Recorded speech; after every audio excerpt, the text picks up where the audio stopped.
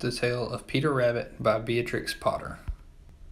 Once upon a time, there were four little rabbits, and their names were Flopsy, Mopsy, Cottontail, and Peter. They lived with their mother in a sandbank underneath the root of a very big fir tree. Now, my dears, said old Miss Rabbit one morning, you may go into the fields or down the lane, but don't go into Mr. McGregor's garden. Your father had an accident there. He was put into a pie by Miss McGregor. Now run along and don't get into trouble. I am going out. Then old Miss Rabbit took a basket and her umbrella and went through the woods to the baker's. She bought a loaf of brown bread and five currant buns. Flopsy, Mopsy, and Cottontail, who were good little bunnies, went down the lane to gather blackberries. But Peter, who was very naughty, ran straightway to Mr. McGregor's garden and squeezed under the gate. First, you ate some lettuce and some green beans, and then he ate some radishes. And then, feeling sick, he went to go look for some parsley. But at the end of the row of the cucumbers, he saw Mr. McGregor. Mr. McGregor was on his hands and knees, planting out young cabbages, but he jumped up and ran after Peter, waving a rake and calling out, Stop, thief! Peter was very scared he ran all over the garden, for he had forgotten the way back to the gate. He lost one of his shoes among the cabbages and the other among the potatoes. After losing them, he ran on four legs and went faster, so that I think he might have gotten away altogether if he had not run into a gooseberry net and got caught up by the large buttons on its jacket. Peter thought he was lost and shed big tears, but his sobs were overheard by some friendly sparrows who flew to him in great excitement and asked him to keep trying. Mr. McGregor came up with a basket which he intended to pop upon the top of Peter, but Peter wriggled out just in time, leaving his jacket behind him, and rushed into the tool shed and jumped into a can. It would have been a beautiful thing to hide in if it had not had so much water in it. Mr. McGregor was quite sure that Peter was somewhere in the tool shed, perhaps hidden underneath a flower pot. He began to turn them over carefully, looking under each. Peter sneezed. Ah, chew! Mr. McGregor was after him in no time.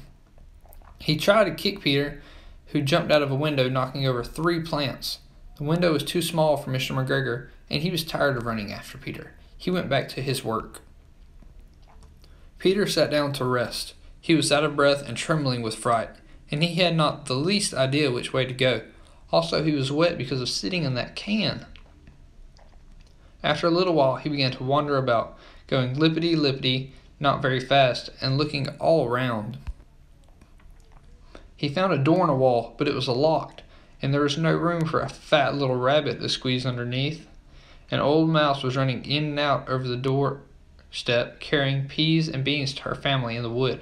Peter asked her the way to the gate, but she had such a large pea in her mouth she could not answer. She only shook her head at him.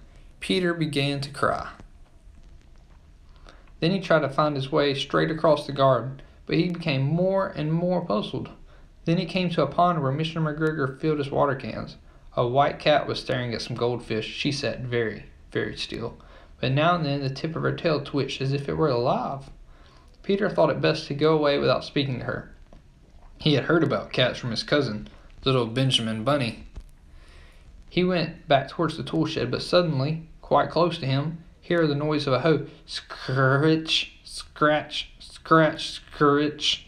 Peter scuttered underneath the bushes, but when nothing happened, he came out and climbed upon a wheelbarrow and peeped over.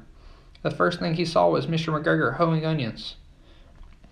His back was turned towards Peter, and beyond him was the gate. Peter got down very quietly off the wheelbarrow and started running as fast as he could go, along a straight walk behind some black currant bushes. Mr. McGregor caught sight of him at the corner, but Peter did not care. He slipped underneath the gate and was safe at last in the woods outside the garden. Mr. McGregor hung up his little jacket and the shoes for a scarecrow to frighten the blackbirds. Peter never stopped running or looked behind him till he got home to the big fir tree. He was so tired that he flopped down upon the nice soft sand on the floor of the rabbit hole and shut his eyes. His mother was busy cooking. She wondered what he had done with his clothes. It was the second little jacket and pair of shoes that Peter had lost in two weeks. I'm sorry to say that Peter was not very well during the evening. His mother put him to bed and made some tea, and she gave a dose of it to Peter, one tablespoon to be taken at bedtime. But Flopsy, Mopsy, and Cottontail had bread and milk and blackberries for supper. The end. Please answer these questions. What is this story about? What was the name of the bunny who wandered off and didn't do what he was supposed to do? A. Flopsy, B. Cottontail, C. Mopsy, or D. Peter? Number 3. What was the name of the farmer? A. Mr. McGregor, B. Susie, C. Bob, or D. Bill? Number 4. What happened to Peter's dad? Number 5. How many siblings did Peter Rabbit have?